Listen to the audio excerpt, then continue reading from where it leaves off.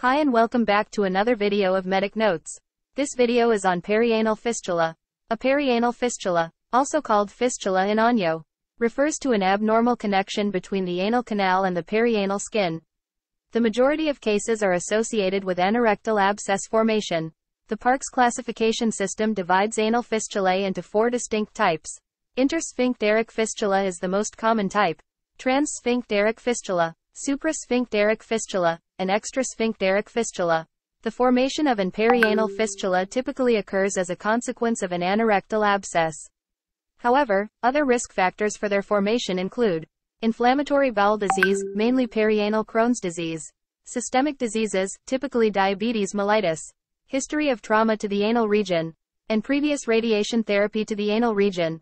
For clinical features, anal fistulae usually present with either recurrent perianal abscesses or intermittent or continuous discharge onto the perineum, including mucus, blood, pus, or feces. On examination, an external opening on the perineum may be seen.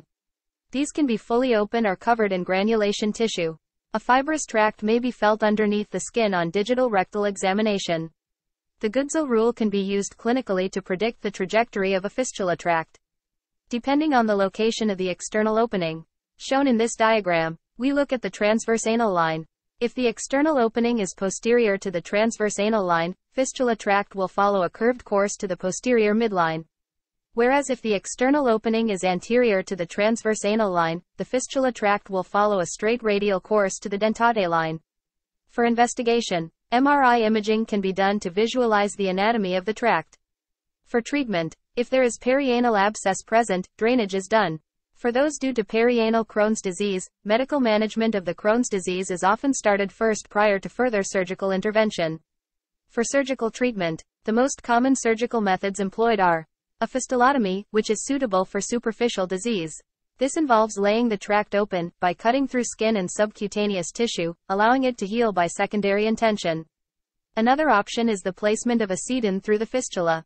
This method is suitable for high tract disease. It attempts to bring together and close the tract, passing out at opening of the perianal skin adjacent to the external opening. That's all for this video. Thank you.